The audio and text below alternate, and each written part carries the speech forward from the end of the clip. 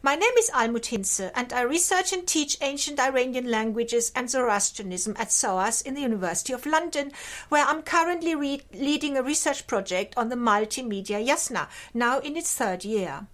My name is Benedikt Peschl, and I currently do research for a PhD in Zoroastrianism at SOAS University of London. What is Avestan?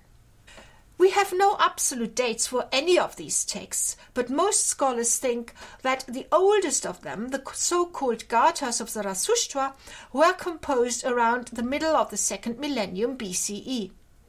This makes Avestan not only the earliest witness of any Iranian language, but also places it amongst the oldest attested Indo-European languages alongside Vedic Sanskrit and Mycenaean Greek, and only a few centuries later than the earliest documents of Hittite.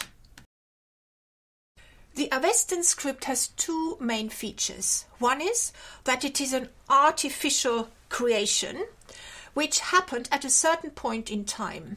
The second characteristic of the Avestan script is that it represents sound, not meaning. The script is phonetic, not phonemic. Subject object alignment in Avestan is overwhelmingly of the nominative accusative type.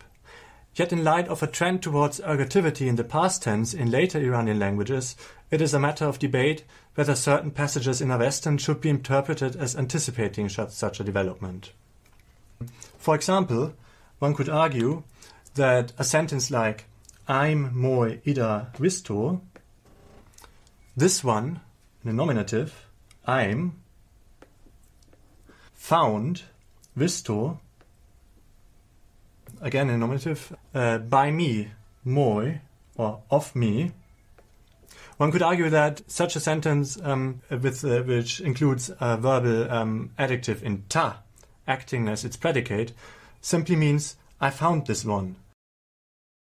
An interesting feature of causatives in Avestan is the fact that when a root shows both a transitive and an intransitive reading depending on the voice, active or middle, the causative relies on the intransitive reading. The verb sru, for instance, uh, means to hear in the active and to be heard in the middle.